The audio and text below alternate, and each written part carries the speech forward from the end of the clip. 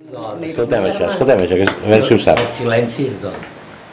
Sí senyor, el silenci és d'or. Va dir-ho un filòsof de l'antiguitat, un pensador, un savi, un grec, un, un etc. I de totes les màximes sentències, aforismes i apotegmes que ha dictat la humana intel·ligència, aquesta és sens dubte la més justa, la més perfecta, la més irrefutable, la més incontrovertible. El silenci és d'or ja poden dir-ho i repetir-ho i tornar-ho a dir i repetir, que mai ho hauran dit i repetit prou ni mai ho hauran prou pensat, capit, rumiat, profunditzat. El silenci és d'or. Perquè anem a veure de què serveix la paraula. De què pot parlar un home, un quill, un qualsevol o un ningú? Doncs bé, un home, un quill, un qualsevol o un ningú només pot parlar cada dues coses, o de si mateix o dels altres.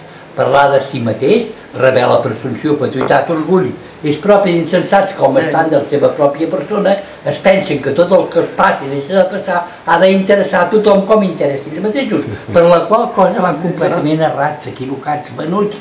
Un home sèrio, grave i formal mai deu parlar de si mateix.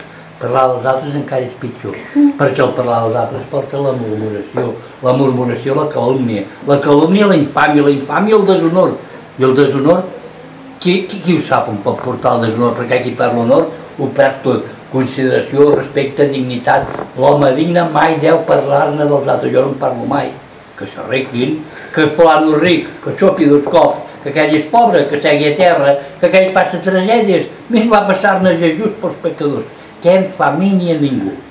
I ara passant a un terreny més vulgar, descendint a una esfera inferior, a fi que tots vostès en puguin comprendre, surten de casa i es topen amb el primer que passa, un amic, un parroquià, un simple conegut, un, un qualsevol, un etc. Doncs bé, el primer que han de fer és parlar. Si sí, Què tal, com els va, si això, si això els tens escolto.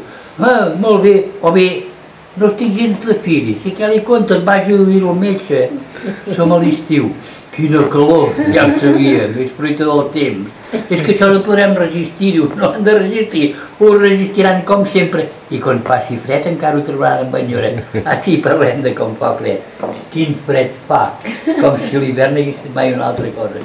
Si això segueix, no podrem resistir-ho. I sempre, sempre el mateix de sempre. I allò de, que no veu quin mode de ploure? És clar que ho veig, Sant Cristià, que sóc cego per ventura. I a més, què té de particular aquest mode de ploure?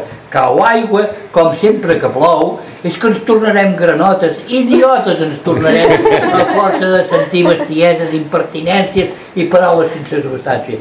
I omiteixo allò de què fulano que li parla té una llàvia d'or, és un pur de ciència, mentida, error, farsa, de què parla d'art, doncs agafin un llibre d'art i estudin i meditin i sabran tant d'art com ell. De què parla? De ciències? Doncs agafin un llibre de ciències i estudin i meditin. Però no, la qüestió no és estudiar, sinó xerrar, xerrar tota hora, perquè sí, sense engaltar, interessi o no interessi, xerrar al teatre, a missa, tot arreu.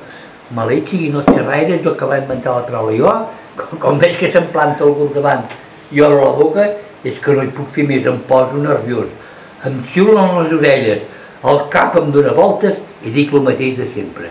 El silenci és d'or. Molt bé. Bravo, bravo, bravo.